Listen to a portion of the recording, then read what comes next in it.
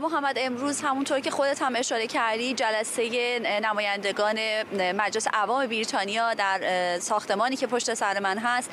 برگزار شده. همچنان این جلسه در حال برگزاری موضوعات مختلفی در مورد مسائل داخلی بریتانیا درش مطرح شده. اما بر اساس چیزی که ما می‌دونیم قراره که تا دقایقی دیگر آقای تام توگنهاد معاون وزیر کشور بریتانیا بیانیه ای رو در این مجلس در مورد تهدیداتی که رسانه هایی که در خاک بریتانیا هستند دریافت می کنند بخونه و در موردش صحبت بکنه. از جمله تهدیدهایی که ما در ایران اینترنشنال در ماهای گذشته شاهدش بودیم و این تهدیدهایی که باعث شده که پخش برنامه های ما فعلا به شکل موقت از لندن به واشنگتن به شکل 24 ساعته منتقل بشه.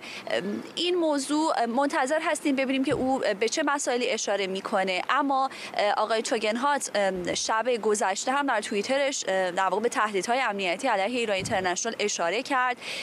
به این موضوع که این تهدیدها در واقع حمله ای به آزادی در بریتانیا و تلاش برای تضعیف حاکمیت بریتانیا. او به این موضوع اشاره کرد که دولت بریتانیا به حمایت از ایران اینترنشنال و کارکنانش ادامه میده. و در واقع به فعالیت های پلیس ضد تروریسم بریتانیا برای حمایت از ایران اینترنشنال اشاره کرد و نکته ای رو که می‌خوام بگم یکی از مسائلی رو که بهش در در توییت خودش نوشتین که گفت تلاش شجاعت ایران اینترنشنال و شهامتش برای دفاع از آزادی موضوع مهمی هستش. اما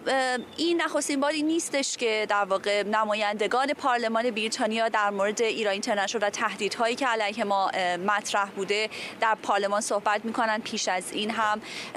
با بلکمن نماینده پارلمان بریتانیا در وقتی که دو تا از خبرنگاران ما تهدید شدن در این مجلس بهش صحبت کرد و گفت دیگه سپاه پاسداران چه باید بکنه که در فهرست سازمان های تروریستی بریتانیا قرار بگیره. روز چهارشنبه هم بنابر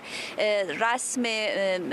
بریتانیا آقای ریشی سوناک نخست وزیر بریتانیا قراره که در پارلمان حاضر بشه احتمال میره که در مراسم پرسش و پاسخی که در اینجا برگزاره باز هم موضوع تهدیدها علیه رسانه ها از جمله ایران اینترنشنال مطرح بشه نمایندگان از او سوال بپرسن و به شکل مشخص بخوان بدونن که بریتانیا بله. دولت بریتانیا چه اقداماتی رو در دستور کار داره برای تامین امنیت خبرنگاران.